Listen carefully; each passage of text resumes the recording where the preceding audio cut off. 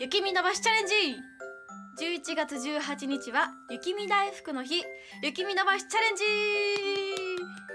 ジ。11月18日は雪見大福の日です。そこで雪見大福の日を記念して今年も雪見伸ばしチャレンジを開催したいと思います。雪見伸ばしチャレンジはハムッとした雪見大福をどれだけ伸ばせるかチャレンジするイベントです。参加は簡単。雪見大福を口でハムッとしてゆっくり伸ばしてるところを動画に撮影してハッシュタグ雪見伸ばしチャレンジをつけて SNS で投稿するだけ。